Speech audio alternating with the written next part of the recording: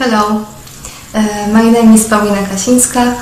I'm from Poland and I'm working for Teleperformance Greece.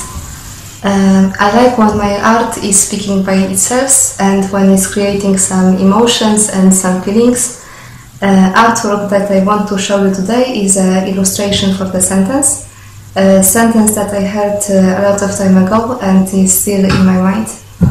Uh, it's watercolor on the paper and um, I hope you will like it. Thank you.